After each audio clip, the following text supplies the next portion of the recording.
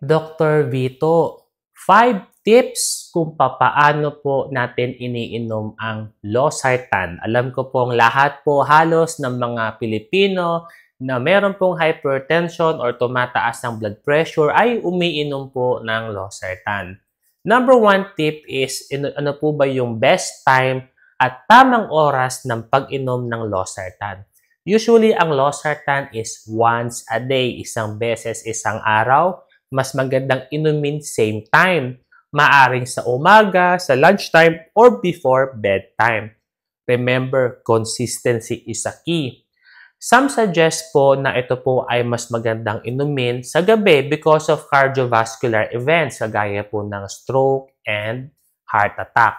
So, kailangan nyo po munang pagkonsulta kung ito po ba ang advice ng doktor para sa inyo. Number two, ito po ba ay kailangang inumin ang losartan na may pagkain or wala?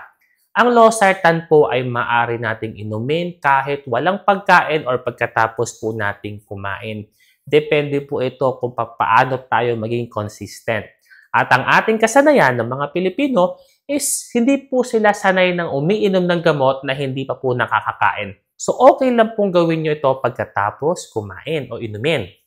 Number three is ito po bang pag-inom ng losartan ay kailangan po bang isabay sa mga ibang gamot nating iniinom na pampababa ng blood pressure, kagaya ng amlodipine? Di ba karaniwan nating nalalaman na ang losartan ay at ay yung iba naman nainom ng amlodipine.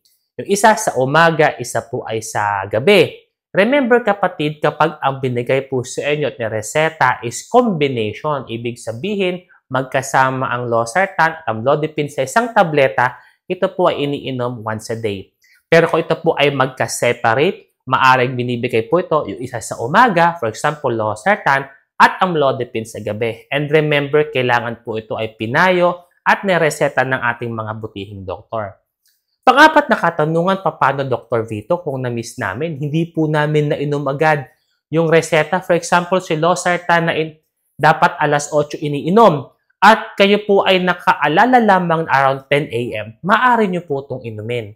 Pero kapag marami na po kayong na-miss na dose, ibig sabihin ilang araw na po kayong hindi nakaiinom ng losartan, ang the best nyong gagawin is tumawag sa inyong mga butihing doktor at i-inform ang inyong doktor na nakakalimutan nyo na po uminom ng mga gamot dahil sobrang busy nyo o dahil pakiramdam nyo okay na po kayo. Number five, ano po ba yung mga side effect. Alam niyo po ba ang common side effect po ng losartan is dizziness, yung parang ang nahihilo or nalulula. Kaya kung ikaw po ay nakakaranas po nito, ano po ang gagawin po natin? Gawin niyo po ito right after niyo pong kumain. O kaya naman po is kailangan niyo, karaniwang kasi ito nararamdaman kapag bago pa lamang magsisimula at kapag po kayo ay nagpalit po ng ibang gamot. Pangalawa is angioedema. Yung po nakikita niyo po nagkakaroon ng swelling sa inyong mga sa uh, muka, sa inyong mga lips, sa inyong mga throat. At kung mangyari ito, agad po kayong sumangguni sa inyong mga doktor at sa emergency room nang ma-address po ang mga ito. Ito po si Dr. Vito, ang inyong Mindorenyong manggagamot.